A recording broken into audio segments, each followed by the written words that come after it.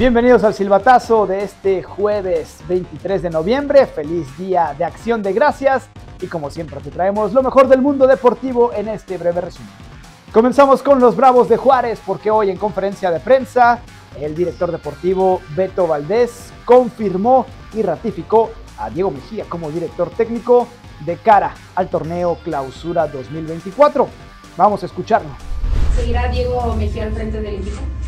Diego tiene contrato hasta julio 2024 y también creo que siempre fui honesto desde que llegué y me parece que es algo que nos ha caracterizado esta, esta administración, pasando por la gran asesoría que tengo por parte de la comunicación.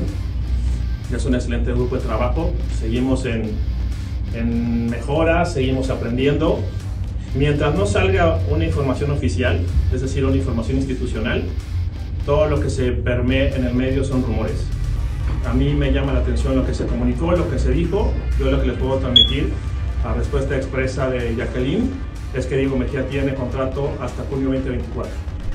Cambiamos de información, vamos con Dani Alves y es que se había hablado de un posible acuerdo entre el exfutbolista brasileño y la parte que lo acusa. Hay que recordar, está acusado por un presunto abuso sexual ocurrido a finales del año 2022. Tiene ya 11 meses en prisión. Se hablaba de cuatro años, lo que estaba pidiendo la defensa del exjugador de los Pumas, pero hoy se dio a conocer que la fiscalía pide nueve años de prisión más otros 10 años de eh, libertad condicional. Todavía estaría sujeto a revisión, además de que no podría trabajar con menores de edad durante un plazo muy largo de años. Veremos qué sucede porque ya está a días de definirse qué va a suceder con el que fuera uno de los jugadores eh, más destacados del fútbol de Europa, ganador de más de 40 títulos a nivel nacional e internacional. Y vamos con muy buenas noticias para el automovilismo mexicano. Y es que este día la escudería McLaren de Fórmula 1 dio a conocer que el mexicano Patricio Pato O'Ward será su piloto de reserva para la temporada 2024 de la Fórmula 1. Incluso va a correr en las prácticas libres número uno del Gran Premio de Abu Dhabi que se corre este fin de semana. Pato Ward ya era parte del equipo McLaren, pero en la escudería Indy de los Estados Unidos.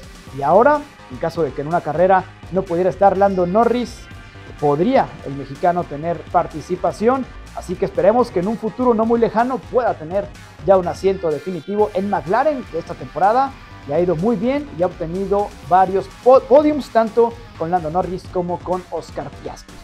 Y cerramos con información del béisbol del estado y es que sabemos que la próxima temporada de la Liga Mexicana de Béisbol contará con la presencia de Chihuahua. Los Dorados serán parte de la temporada 2024 del máximo béisbol en nuestro país. Y hoy en conferencia de prensa se dio a conocer que algunos de los partidos de los Dorados de Chihuahua podrían jugarse en Ciudad Juárez. La idea, también mencionaron, es que vaya a otras regiones del estado, donde también hay mucha presencia del béisbol, como Delicias, que ha ganado tres títulos en la Liga Estatal de Béisbol, y también en Parral, donde tiene una gran tradición con los mineros. Así que una muy buena noticia para el béisbol del estado de Chihuahua, uno de los deportes más practicados en esta región. Y esto ha sido todo por el silbatazo de este jueves. Que tengan un excelente día de gracias.